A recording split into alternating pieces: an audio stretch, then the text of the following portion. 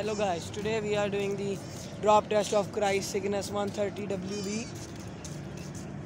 It is our customated bay from that hell of the building. Oh, guys, it will be very interesting. So let's begin.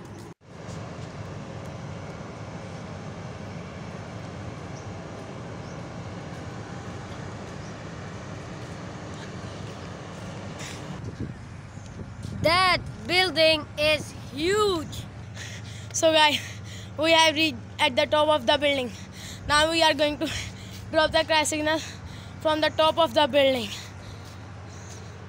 Look at the height, guys. Look at the height, guys. It is very high. Oh. We are going to drop it. One, two, three, go! Oh! Let's go, guys!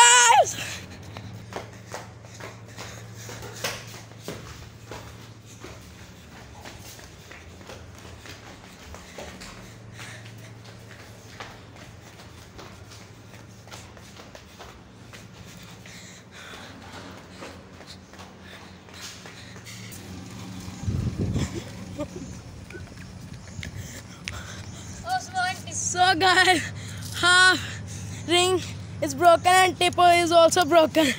Wow, It what a drop survived. set. So guys, this is round two. We are going again to drop Crash Cygnus from the building. One, two, three, go!